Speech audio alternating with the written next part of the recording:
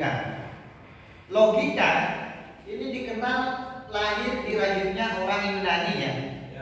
Logika ini lahir di rahimnya orang Yunani. Dan yang paling terkenal dalam rumus logika itu adalah rumus silogismenya Aristoteles. Aristoteles. Gimana silogisme? Rumusnya silogisme? Rumusnya silogisme A sama dengan B, C sama dengan A, maka kesimpulannya nanti C mesti sama dengan B. Ingat ya?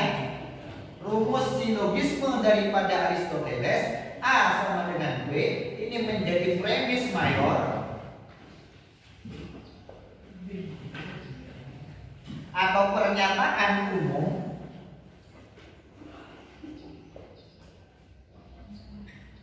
C sama dengan A ini adalah pernyataan khusus atau premis menor.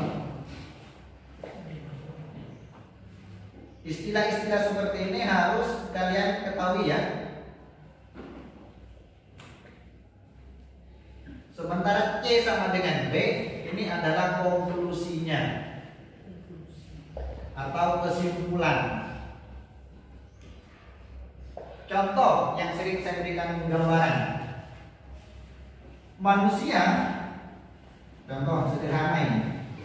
Manusia adalah makhluk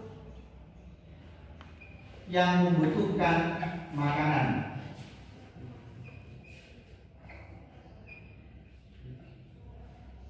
Nah, manusia ini rumusnya A membutuhkan makhluk yang membutuhkan makanan sama dengan B. Oke. A sama dengan B ini premis mayor. Kenapa dikatakan B premis mayor? Karena manusia ini sifatnya umum, ya.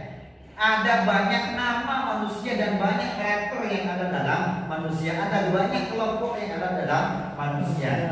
Ini manusia. Nah, kemudian kalau kita membuatkan pernyataan khusus daripada manusia, misalkan kita mengambil contoh namanya Erik. Erik adalah manusia. Erik karena A, kata Erik bukan A juga bukan kata B, maka Erik kita rumuskan sama dengan C ya. Erik adalah manusia, berarti C sama dengan manusia A ya. Nah, ini premis menor, pernyataan khusus. Nah, bagaimana membuat kesimpulan dari dua premis ini? Maka membuat kesimpulannya rumusnya adalah C sama dengan B. Maka kata C adalah ini kita tulis Erik. Erik sama dengan B berarti Erik sama dengan B berarti Erik adalah makhluk yang membutuhkan makan makanan. Jelas ya? Erik ini G adalah makhluk yang membutuhkan makanan sama dengan B. B. Jadi kalau mau gampangnya kalian ACC BA BAB. Ini terkait dengan rumus silogisme yang disampaikan oleh Aristoteles. Ada banyak contohnya terkait dengan bagaimana kita membuat rumus silogisme yang disampaikan oleh Aristoteles. Nah, bagaimana kalau kita kaitkan dengan ketuhanan? Yang paling bagus terkait dengan contoh bagaimana kita mengenal Tuhan kalau mau digabungkan dengan silogismenya Aristoteles itu cerita daripada Nabi Ibrahim. Nabi Ibrahim di dalam Al-Quran selalu digambarkan ketika beliau melihat bintang pertamanya. Di dalam ayatnya dijelaskan. فلما جن عليه الليل رأى كوكبا قال هذا ربي فلما أفل قال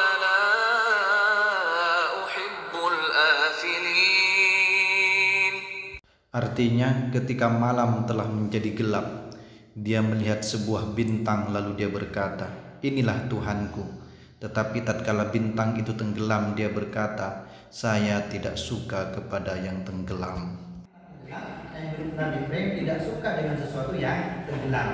Kemudian yang kedua, di dalam bidang daripada ayat itu, Nabi Ibrahim mengatakan bahwa فلما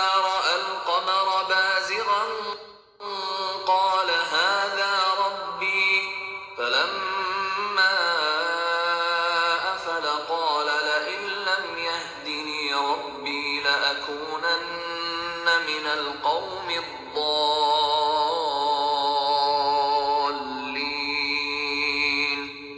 Artinya, kemudian tatkala dia Ibrahim melihat bulan terbit, dia berkata, "Inilah Tuhanku." Tetapi setelah bulan itu terbenam, lalu dia berkata, "Sesungguhnya jika Tuhanku tidak memberi petunjuk kepadaku, pastilah aku termasuk orang yang sesat." Aku akan termasuk orang-orang yang kaum-kaum yang doalim itu katanya Nabi Ibrahim di dalam Al-Quran. Nah pertama melihat bintang, bintang tenggelam Nabi Ibrahim tidak mau menuhankan sesuatu yang tenggelam. Kemudian yang kedua melihat bulan, bulan juga tenggelam, maka Nabi Ibrahim juga melepaskan diri dari sesuatu yang tenggelam. Artinya ketika Nabi Ibrahim tidak diberikan petunjuk oleh Allah, maka niscaya Nabi Ibrahim akan termasuk orang-orang yang doalim. Itu kata Nabi Ibrahim. Kemudian yang ketiga, Nabi Ibrahim itu melihat matahari ya. فلما رأى الشمس بازغة قال هذا ربي هذا أكبر فلما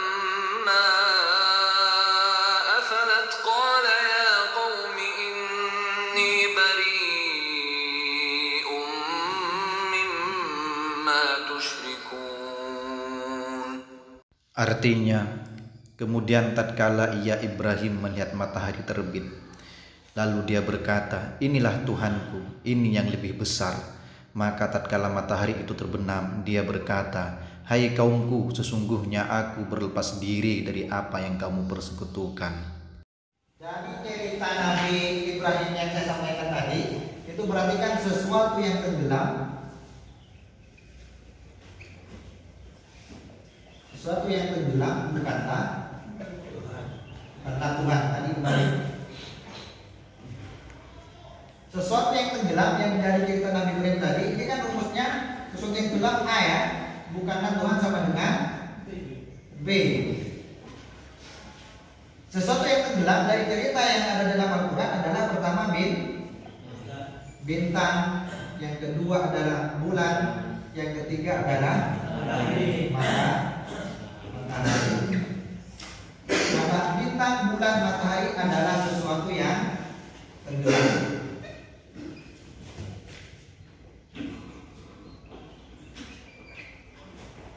Maka bintang karena bukan A juga bukan karena bukan B, maka bintang, bulan dan matahari ini rumusnya rumusnya sama dengan C. C adalah sesuatu yang tenggelam sama dengan A.